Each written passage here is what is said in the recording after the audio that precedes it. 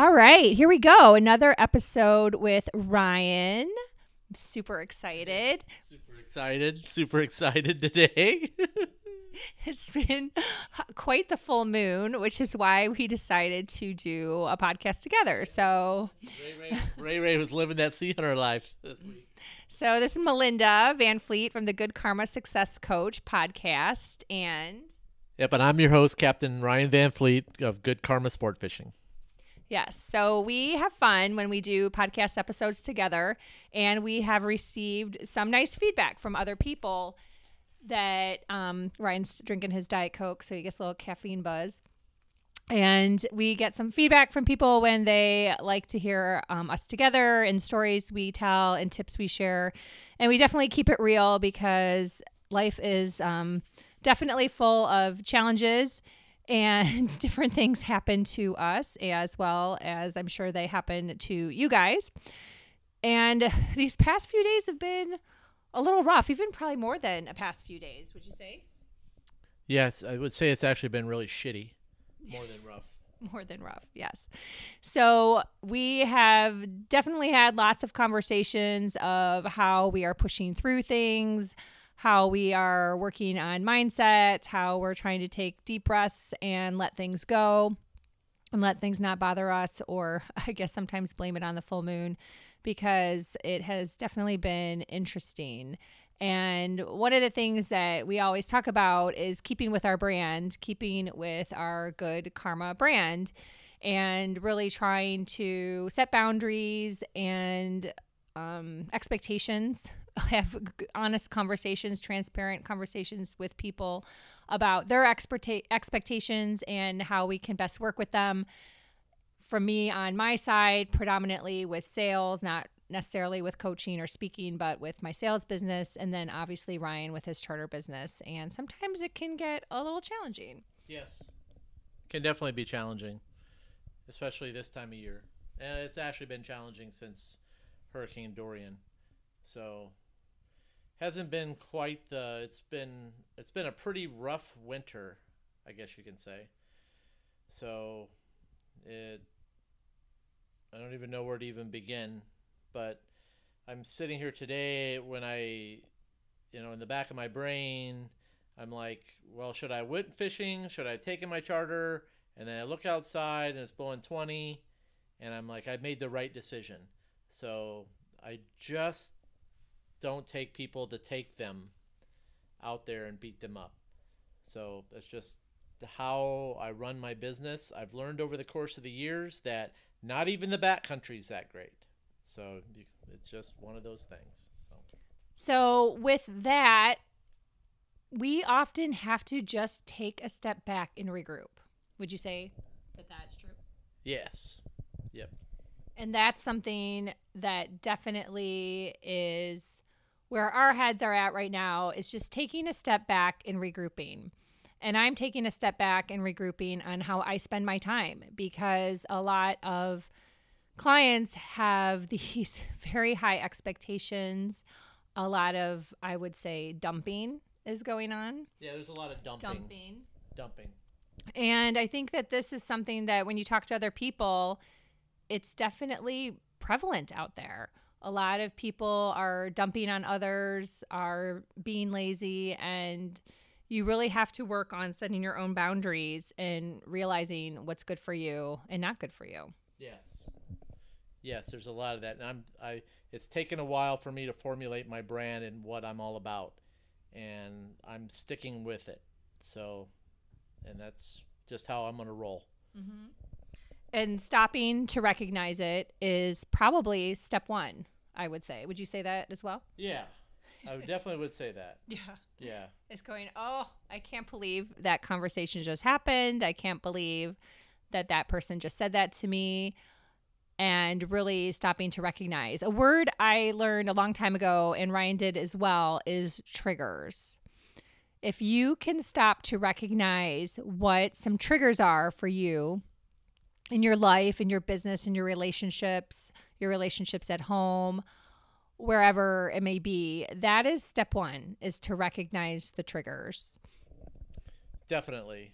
And there's been a few triggers the past couple days. yeah. I would say more than a few. It seems they come around with the full moon. yeah. And it and it's hard to say. We were talking this morning about someone that had um, done something yesterday, sent Ryan a text yesterday that was a trigger, and then he had the opportunity to speak to that person today.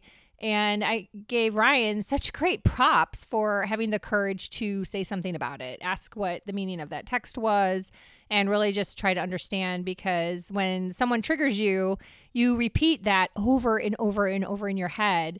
And that's so much energy that you could be spending doing something else, thinking of something else, thinking of growing your business or thinking of dreaming big, you know, whatever. There's so many other things you'd be thinking about. The list is endless.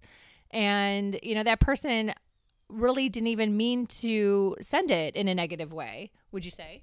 No, no, I don't think he was even thinking. No, he wasn't even thinking. He wasn't even thinking. He wasn't even thinking. So that's what's so crazy sometimes about some of these things that happen to you.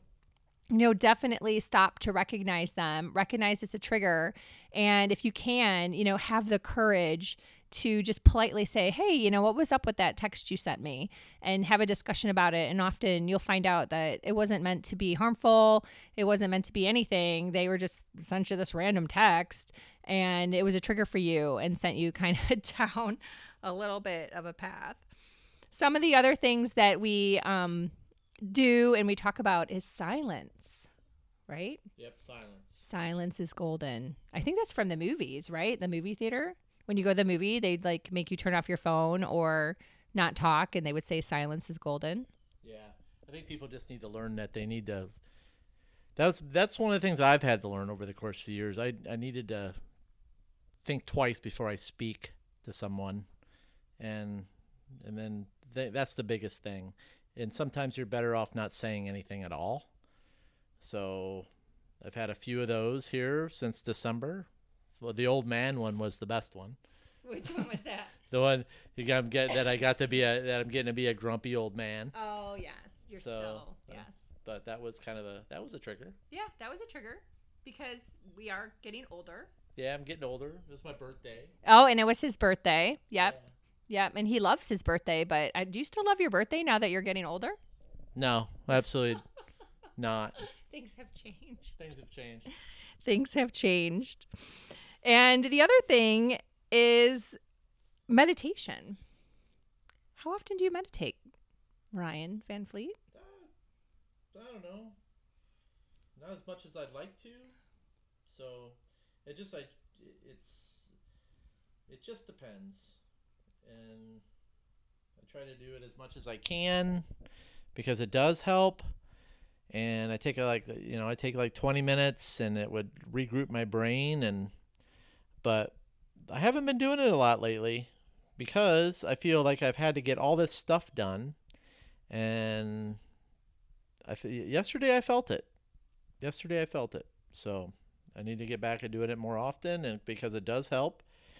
And when I'm running fishing charters in a row, I do it. I do it on a regular basis. I'm sometimes I'll do it before I even leave the house, when I know that things are going to be a little bit bit of, a bit of a challenge with the weather, and it helps. So and out of the boat, I've learned to take deep breaths before I say anything, because I just seen this video of this guy on a fishing charter, a captain, and the guy, guy was having the client was having a hard time grabbing the fish, and the captain kind of lost it on the poor guy.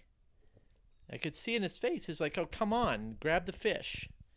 I could see, I could feel that energy through that guy, that captain yelling at that guy, and Was this on YouTube? it was on uh, Facebook, Oh. somewhere down in Key West. And the comments that I read were like, "Oh, that Guggen, he can't hold a fish," and I was like, you know, that's one thing I've got away from is I see these guys on the Facebook and they calling people names and calling them goons, and I'm like, guys, listen, man, these guys come down there, they don't know how to hold a fish. It's bumpy, and they don't want to get their hands cut, and I don't blame them because it sucks. So I think people need to like take a breath before they throw a comment out there about that kind of stuff. So yeah, yeah, he was the captain got on his ass about not being able to hold the fish, but yeah, sometimes you can have a sometimes enough is enough. But that would have been a common case where I been, would have had to take a deep breath and step back and laugh a little bit mm-hmm. because it was funny and the guy was like scared of catch touching the fish. That happens a lot. That happens probably more than anyone That happen- probably even That recognizes. that happens so much. Everyone starts from somewhere. Everybody starts from No one somewhere. catching fish. Don't be calling people goons because they can't, they're scared of a fish. I don't blame them. Man, you know, I remember when I was a mate on a boat and the guys hated me. So you know how they hazed me? They had me grab a mangrove snapper and it this mangrove snapper bit down on my thumb and wouldn't let go. Okay? It's dark, you can't see, and they got a good laugh out of it. But I lost feeling in that thumb because of the, that asshole. So but that kind of stuff is serious. So listen, I seen this. It, it was a trigger. It was like one of those things. Like, why in the hell is that guy? He's getting paid good money, making fun of that kid that doesn't want to touch that fish. So, yeah, it was a yellowtail snapper, but come on, you know, there those things can be just as lethal on a on a on a nasty day too. So, but anyways, that's the type of stuff. So just be when you're up in the morning before you have your coffee. If you have a bad day, watch out before you fire something a comment out there about calling somebody a goon. So And to be honest, most of those people would probably make the same mistake anyways. They're just keyboard warriors. So yeah, it is just what it is. Yep. So the other thing that I would recommend is when your mind has um, some challenges dealing with things that are negative or things that have triggered you is really work towards keeping super busy with all the other positive things in your life whether it's your kids or your job or something you're building let's say you're working out you're working on losing weight you're reading you're listening to positive things like podcasts or books on Audible, if your brain is busy with all these other positive things that you're working on and working towards, you'll have a much easier time pushing through some of the negatives. So, I'm not going to say it's going to go away right away, but you will have an easier time working through some of those negative situations that happen because you know what we all have them and that's one reason why again why we really wanted to do this podcast is we really want to keep it real. And, you know, often people look, let's say, at Ryan's job and what he does, and they think it's so easy and he just gets out there and he fishes all day. And it's really not. Oh, the There's latest so many. The latest one is oh he he he fishes out of the keys where it's so easy. I was like, okay, brother, come on down, jump on my boat, and go get them. If I, if I had nickel for every time I heard living the dream, like, you know, we just do nothing all day, like, I'd be like, oh my God, I'm so rich. so, I, and, and we like to share our reasons for doing our podcasts. Um, my two podcasts, Crush in Sales and Good Karma Success Coach, and then Ryan's Good Karma Sport Fishing podcast, is to share and add value and help other people. That is truly our genuine reason of doing these podcasts. So I think that there's so much out there, a lot of jargon, a lot of, you know, people painting sunshiny roses pages all the time and we are extremely positive people, but you know what? Sometimes we're just kind of like dealing with some shit. And and ours right now has been weather for Ryan and for both of us challenges with people. And I think that the more aware you are that it's not you, and that sometimes some of these people are just challenging. And if you have some tools to try to get through those days, then hopefully that can make a difference in your life. I mean, we definitely are seeing it. We're seeing it with different age generations. Um, for sure.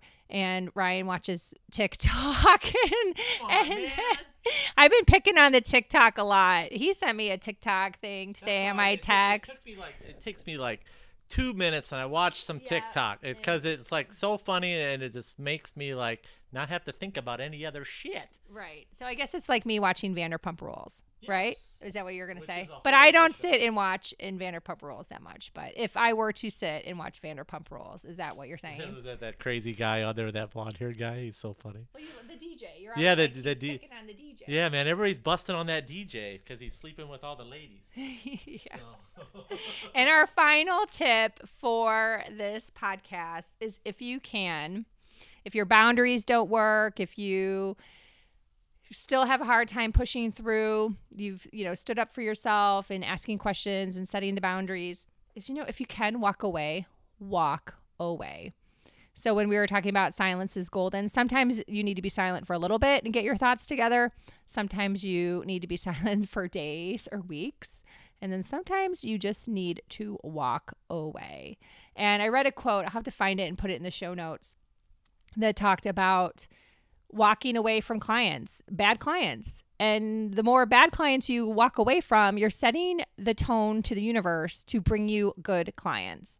I don't want these bad clients. I only want good clients. And you know what? Believe it or not, over time, it really does happen and make a difference. When I look at the nature of Ryan's business and how his clients have changed over the years by him setting boundaries and really putting it out there, the type of clients he wants, he definitely has seen an increase in the quality of clients. Yeah. And I have too in yeah. my sales business for sure. I yeah. totally have. Totally. And one thing about the weather is that when you're fishing in a 23, okay, it is extremely tough to get from one point to another, okay? And over the years, I had fished in a lot of rough stuff. The level of intensity triples for a captain that really cares, okay? My level of intensity triples. And therefore, I'm not able to give my clients this the the service that I need to give them because I'm more worried about the weather and the boat than I am about the client. Weather meaning that I've got to catch some fish for the client and it is tough on a 23 to catch fish, nice fish that they paid for. I'm not talking about barracudas or little mackerels or or jacks on the bridges. You know, I'm talking about getting from point A to point B to catch nice mutton snappers, nice yellowtail snappers and once you're on anchor in five to six foot seas in a 23, you got to get that hook back. So I've been in some spots where it wasn't so pretty. So I've read I, I so my boundaries this year is that it's got to be decent and safe, and I have to be able to give my client a thousand percent before I'll take the charter. So, and that's my boundaries. So if I can't do it, I'm going to be honest with them that I can't. So and they'll say I still want to take it, take you. But I had a I had a group last year. They were like, okay, well they said definitely, definitely, and then at the end of the trip they were unhappy and they looked at me and they said, why didn't you pull any magic out? you didn't tell me this. Yeah, why didn't you pull any magic out? Usually a good captain can pull magic out. Isn't it nice the things that people say to you? And I was like, don't ever call me again. Don't ever call me again. And good luck finding another guy with a 23 that can give you what I can give you. And well, in general too. In general. You shouldn't speak to anyone like that or any captain like that because all captains are extremely hardworking. Yep. So hopefully, if they went to another charter, the other captain stood up for themselves as well. Yep, so. exactly. And the other captain would need to stand up for himself because guys like that just need to be run off. Right. So. Anyhow, so those are our thoughts. We hope this helps somebody out there. We hope this helped yes. that you're not alone that we all deal with these things. And if you work on recognizing things, stopping, taking a moment, practicing silence, standing up for yourself, boundaries, and you know what? If you have to walk away, walk away. Then our podcast has served its purpose for today. Yes, exactly. Right, Ryan? Yep. Awesome. Yep. So until then, keep fishing. You're going to get your weather and, and and and remember, anytime you're fishing, it's all good. Thanks for listening.